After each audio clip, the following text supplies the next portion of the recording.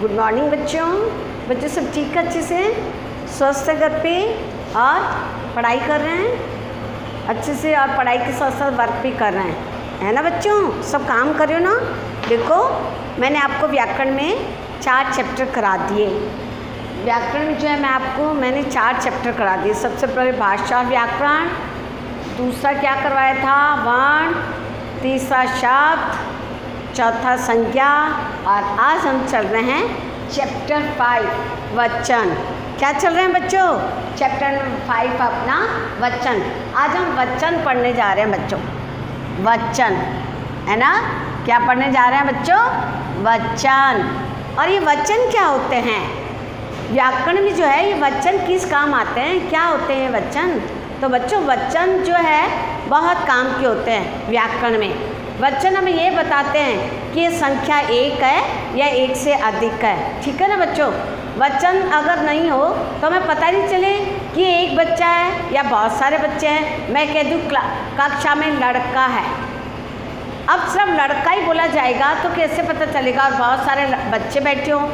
तो वचन जो है, वचन से हमें यह पता चलता है कि उस संख्या कितनी है? एक है या एक से अधिक है? तो हम आज वचन के बारे में पढ़ेंगे। तो आप अच्छे से देखो वचन। सबसे पहले देखो वचन की परिभाषा। क्या बता रहे हैं हम? वचन की परिभाषा। संज्ञा या सर्वनाम के जिस रूप से। संज्ञा या सर्वनाम के जिस रूप से। उसकी एक या एक से अधिक। एक या एक से अधिक। संख्या का बोध होता है। एक या एक से अधिक संख्या होने का बोध होता है, उसे हम वचन कहते हैं। क्या कहते हैं बच्चों? उसे हम वचन कहते हैं। यानी ये संज्ञा या सर्वनाम के जिस रूप से उसकी एक या एक से अधिक संख्या का बोध होता है, उसे हम वचन कहते हैं।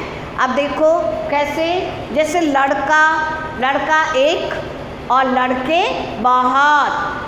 तो जैसे लड़का, लड़के, मैंने यहाँ दो चार एग्ज़ाम्पल दिए, उदाहरण दिए आप सुनो। लड़का, लड़के, गमला, गमले, लड़की, लड़कियाँ। बच्चों, इसमें लड़कियों में क्या होता है? जैसे लड़की, इससे बड़ी की मात्रा है है ना बच्चों? जब ये लड़कियाँ हो जाएगा तो ये वाली मात्रा यहाँ से यहाँ बदल जाएगी और यहाँ पे चंद्र बिंदु लगेगा।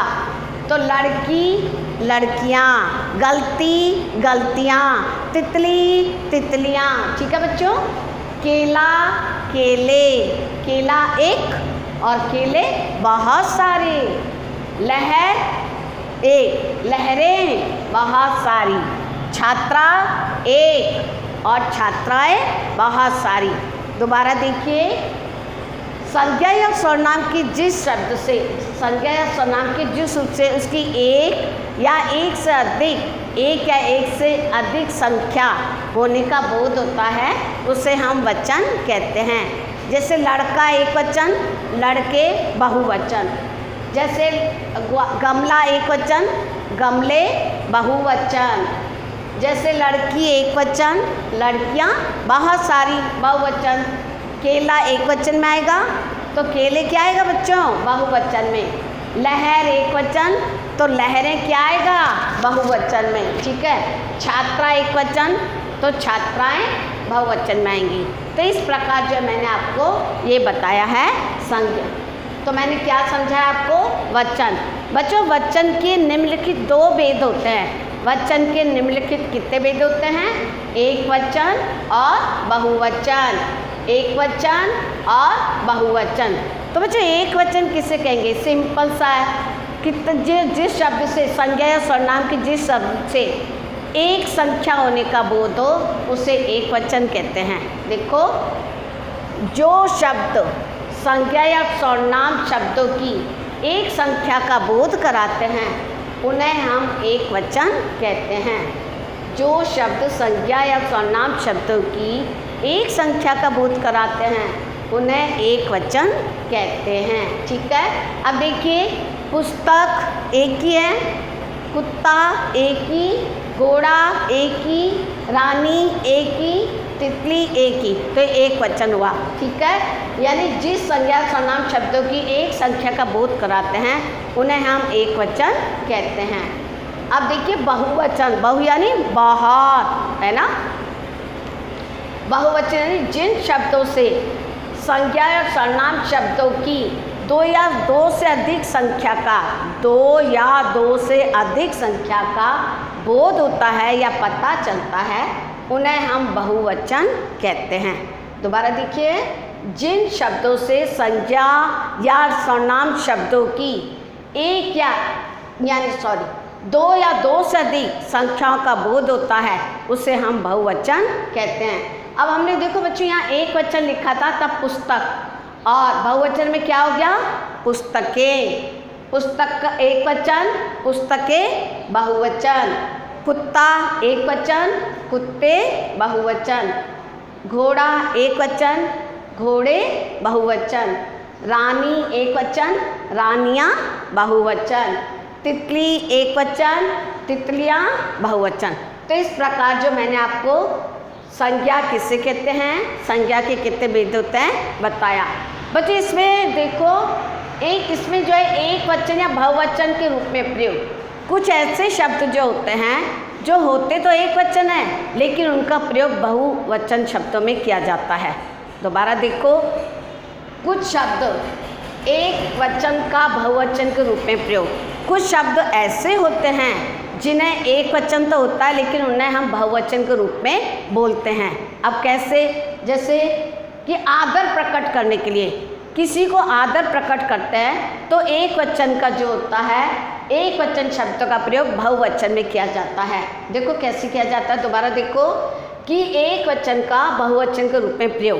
तो ये कब किया जाता है? जैसे किसी को आदर दिया जाता है तो आदर प्रकट करने के लिए एक वचन शब्दों का प्रयोग जो है, वो बहुवचन के रूप में किया जाता है। ठीक है? अब जैसे अपन कहते हैं, अपन ये थोड़ी कहते हैं, दादाजी आया है। नो क्या बोलेंगे? दादाजी आए हैं। है तो दादाजी एक। एक वचन हुआ ना वाक्य? दादाजी आया है। ये कहेंगे बच्चों, नहीं। क्योंकि दादाजी जो है हम जो है उनका सम्मान करते हैं, वो हमसे बहुत बड़े हैं, है ना? वो हमारे पूजनीय हैं। तो इसलिए आदर प्रकट करने के लिए हम कहते हैं, दादाजी आए हैं। अब कहे नाना जी चला गया। नो नाना जी चले गए। ठीक है बच्चों? तो हमको आदर प्रकट करते हैं। जैसे नेताजी आराम कर रहा है, नेता आराम कर रहा है, नो, हम क्या कहेंगे? नेताजी आराम कर रहे हैं। हम प्रधानमंत्री के लिए क्या बोलेंगे? प्रधानमंत्री लाल किले से भाषण देगा। बच्चे, ऐसे बोलेंगे, प्रधानमंत्री लाल किले से भाषण देगा? नहीं। हम बोलेंगे, प्रधानमंत्री लाल किले से भाषण देंगे। तो उनको क्या दिया गया हमने? सम्मान दिया गया है।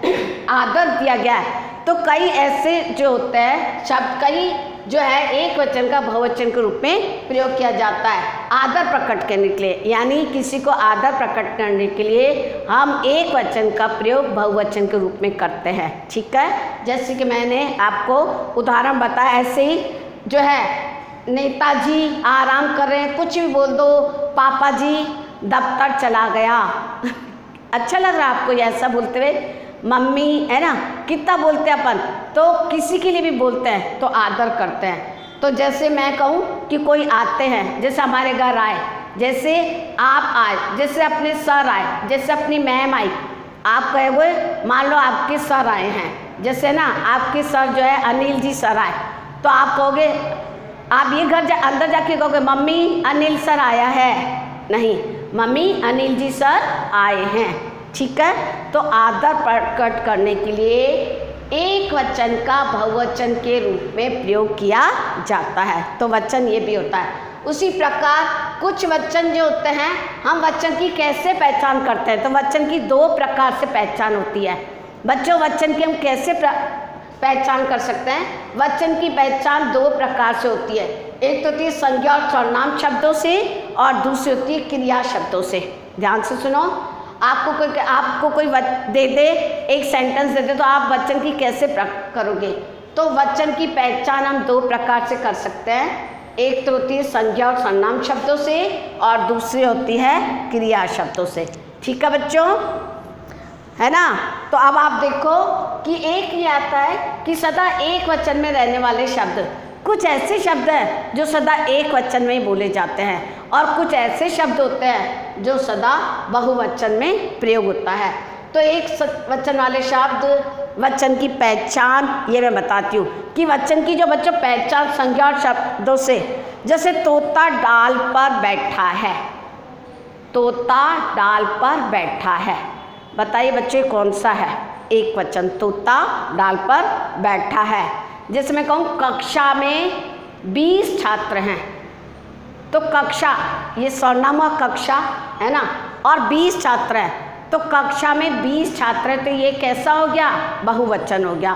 तो इससे हमने संज्ञा और स्वर्णाम शब्दों से हमने पता कर लिया कि ये एक वचन है या बहुवचन। जैसे मैं कहूँ कि आ, तोता डाल पर बैठा है मोर जो है नीचे बैठा है मोर डाल पे बैठा है है? तो क्या कहोगे? एक वचन।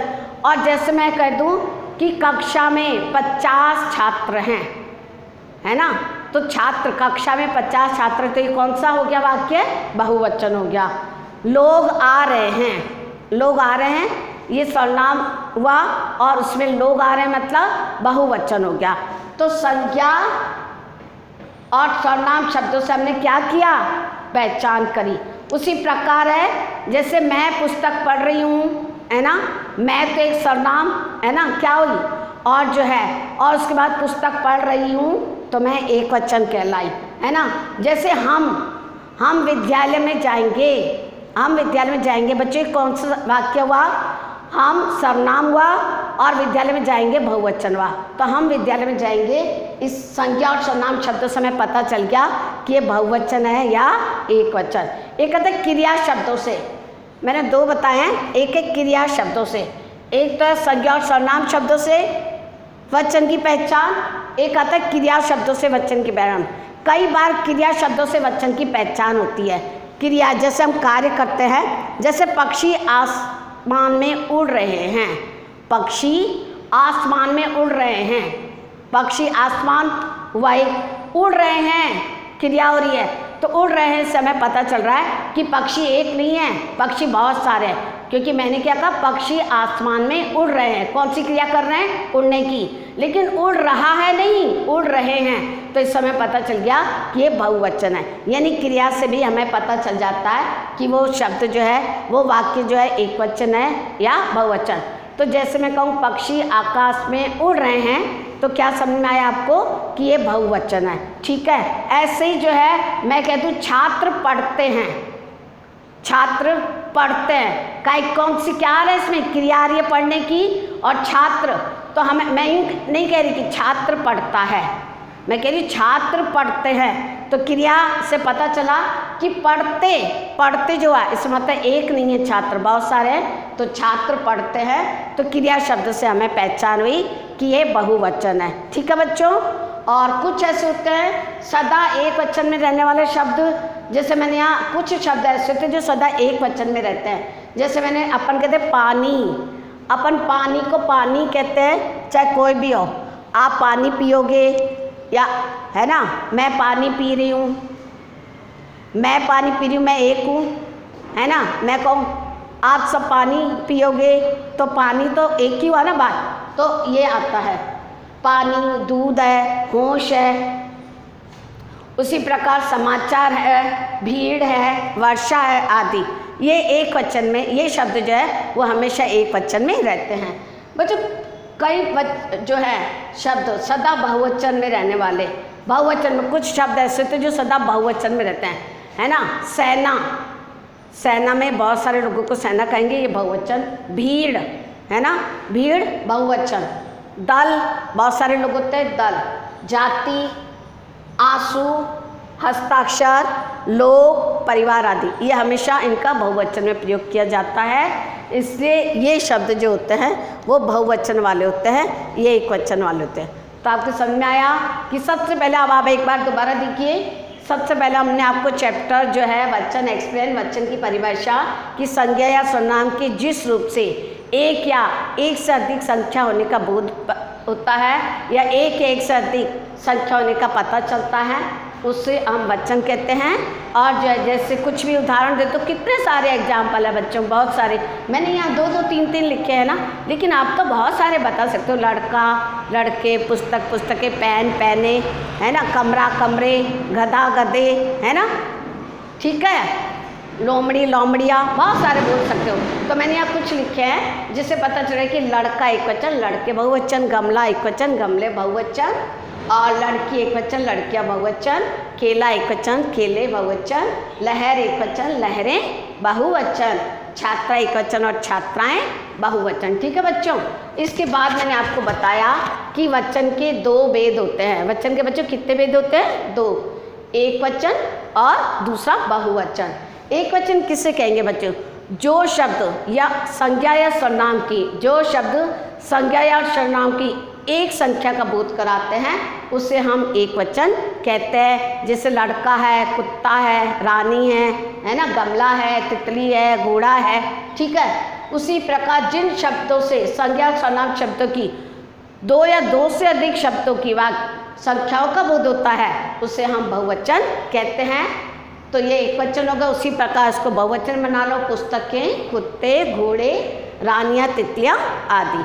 ठीक है बच्चों, फिर मैंने आपको बताया कि एक वचन का बहुवचन के रूप में प्रयोग कुछ ऐसे शब्द होते हैं जिनका एक वचन से बहुवचन में प्रयोग किया जाता है। ये कहलाते हैं आदर्श जिनको हम आदर करने के लिए प्रयोग किया जाता है, आदर प्रकट करने के लिए एक वचन शब्दों का प्रयोग किया जाता है तो ये बहुवचन हो जाता है। देखो, आदर शब्द प्रकट के लिए ए वचन शब्दों का प्रयोग काय में किया जाता है बहुवचन में किया जाता है। जो इन्हें कहते हैं एक वचन देखो मैंने कौन कौन से लिखे हैं। जैसे ने, नेताजी आराम कर रहे हैं। पापा दफ्तर चले गए। प्रधानमंत्री लाल किले से भाषण देंगे।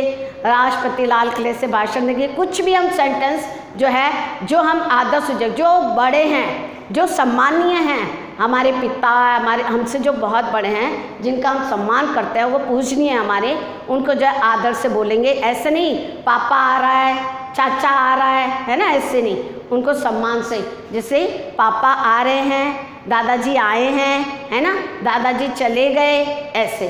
तो इस प्रकार, अब एक आता है कि कई बार जो होता है, वचन की पहचान तो वचन की पहचान हम दो रूपों में कर सकते हैं। एक तो होता है संज्ञा और सर्वनाम से सर्वनाम शब्दों से, और दूसरा होता है क्रिया शब्दों से, जो बात मैंने अभी आपको बताया। इसके बाद होता है कि कुछ शब्द एक वचन में ही रहते हैं हमेशा। और कुछ शब्द बहुवचन में रहते हैं। तो मैंने आपको ये पूरा एक्सप्लेन किया। आपको समझ में आ गया होगा, एक बार अच्छे से लेक्चर सुनना, है ना? ठीक है बच्चों? तो ये वाला जो है आपको कॉपी में पूरा लिखना है। व्याकरण का जो मैं ब्लैक बोर्ड पर लिखा था ना, बच्चों, परिभाषा वगैरह, ये आपको कॉपी में लिखनी होती है। तो ये सारी की सारी आप कॉपी में लिखोगे, वचन पूरा, है ना? और इसके बाद मैं जो है काफ़ी सारे वचन या जो भी है क्वेश्चन आंसर उसको मैं आपको नेक्स्ट लेक्चर में दूँगी, ठीक है? तो ये वाले आप सुंदर सुंदर राइटिंग में कॉपी में लिखेंगे, अच्छे से जो समझ में आया वो आप मेरे से पूछेंगे, ठीक है? अच्छे से, हमारे पास, मेरे पास बच्चों ब्लैक बोर्ड है ना, मैंने पास पास लिख दिया। आप कैसे लिखना? पहले वचन की परिभाषा लिख लेना, फिर थोड़ा सा एक लाइन छोड़ के वचन के भेद लिख लेना, फिर वचन के दोनों भेदों की परिभाषा लिख लेना, फिर उसके नीचे ये वाला जो है आप, ये वाला बीच में भी ऐसे भी लिख सकते हो। मैंने यहाँ साइड में लिखा है ना, एक वचन का बहुवचन के रूप में प्रयोग, ये वाला लिखना, फिर आप लिखना वचन की पहचान अलग अलग हमने ये दोनों को एक साथ लिख देते हैं। जैसे कै यहाँ लिख दिया मैंने, ख यहाँ, आप अलग अलग भी लिख सकते हो, कै एक लाइन में और ख दूसरी लाइन में, ठीक है? उसी प्रकार ये दोनों लिख लेना, ठीक है? तो सुंदर सुंदर राइटिंग और जो लिखते हैं उनको अंडरलाइन करा करो।